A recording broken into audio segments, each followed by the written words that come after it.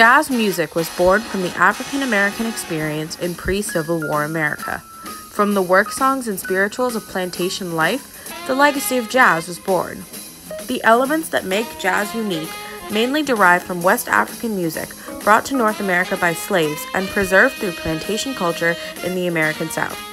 Throughout the 20th century, many different styles of jazz emerged and evolved. Icons of the time left concepts and legacies that have lasted through time and are still present in modern jazz music. The leadership and legacy of jazz icons throughout history have played an important role in the significance of jazz on American history. The blues started to, in the mid to late 1800s. The blues wasn't invented by one single person because this form of jazz started in work fields and slave plantations. The blues was a form of music based on emotions, getting over hard times and saying what you feel. The style grew up in the South near New Orleans and was pioneered by popular musicians like William C. Handy, a trumpet player who wrote and performed the St. Louis blues. The blues carried on throughout history, staying relevant into modern times even as other forms of jazz continued to show up. One of the most famous players into the 1900s was Count Basie, a pianist known for the Count Basie Orchestra that still plays today, and his blues and swing style of jazz. He is known for songs like One O'Clock Jump and having the signature Count Basie ending. He helped to shape modern blues and swing style music and make sure it to stay popular into the 20th century.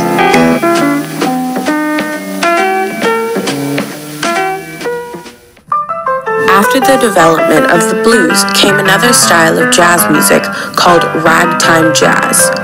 Ragtime reached peak popularity between 1895 and 1918. Its unique and most well-known trait is its syncopated or ragged rhythm.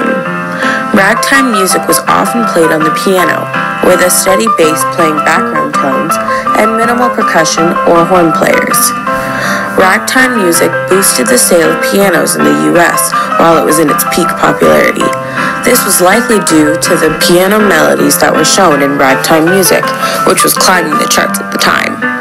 Scott Joplin, an esteemed pianist, achieved fame for his many great compositions.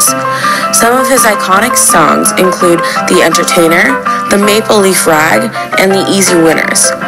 Joplin was often dubbed the King of Rag, and his compositions, as well as his popularity, brought many to listen and play ragtime style jazz. Swing hit its peak in popularity from 1935 to 1946. Swing is a type of rhythm that gives the music being played a waltz like feel, a kind of jazz generally played by a big band, and is suitable for dancing. That is one of the many reasons swing was created for the danceable style. When people think of jazz music, they think saxophone or trumpet. The thought of a clarinet would never occur to them. That is what makes Benny Goodman so unique. Goodman was a famous clarinetist and jazz musician that was known for his extraordinary swing style. For this, he was nicknamed the King of Swing. During the 1930s, Benny Goodman helped pave the way for the swing era. Another popular jazz musician that incorporated swing into their work was Glenn Miller. He was an American big band musician, composer, and band leader. He led one of the best known big bands. Miller inspired the World War II generation and boosted morale with his many songs. During 1942, Glenn Miller enlisted in the U.S. Army and led the Army Force Band. A couple of very famous songs he played were Moonlight Serenade and Tuxedo Junction. Swing was enjoyed so much that there are many people who still create swing jazz music today. This includes Louis Armstrong, who was a modern jazz trumpeter, very famous for his swing rhythm. Armstrong was even more famous for his talent in improvisation, which brings us to our next style in jazz. Style used more later on in history. Jazz improv is the process of creating melodies spontaneously, without notes that are given to you on a sheet of music. To jazz improv is playing the music with creativity and intention.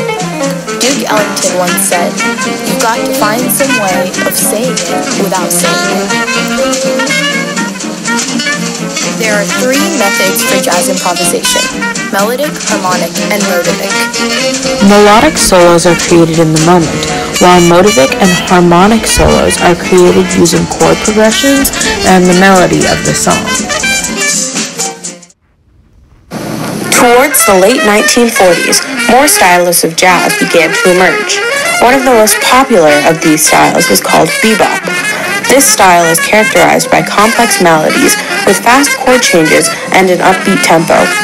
When it first emerged, emerged, bebop was seen by both the general public and other musicians as unacceptable. Oftentimes, younger musicians who played bebop were scrutinized by older swing players. This created the first divide to emerge in the field of jazz. Bebop took old harmonies of classic swing charts and imposed additional chords to make melodies more complex. This opened the door to even harder improvisation, where a musician could fully show off their full range of improvisational skills. One of the leaders in the introduction of bebop into jazz music was saxophonist Charlie Parker. Parker often performed with bands that played bebop music and used bebop style in many of his improvised solos. As jazz music became more widespread, it began to blend with the music of other cultures. One style that emerged from this spread of jazz was Afro-Cuban or Latin jazz. Latin jazz combined the rhythms and melodies of bebop and other parts of jazz with percussion instruments from the Caribbean and Cuba. Compared to other Afro-Cuban music with roots in dance like the mambo and salsa, Latin jazz gave musicians more freedom to explore and improvise. Trumpeter Dizzy Gillespie was a classical jazz player who branched off into working with Cuban musicians on a style that he liked to call cubop, which is now called Latin jazz. Gillespie's work in Latin jazz brought many to listen to this new style. Jazz music has played an important role in music and American history with complex roots tra- tracing back to pre-Civil War times. Jazz music is still played and celebrated today by many students and professional musicians. Today's jazz players reference and honor the leaders who helped develop the genre we know and love today.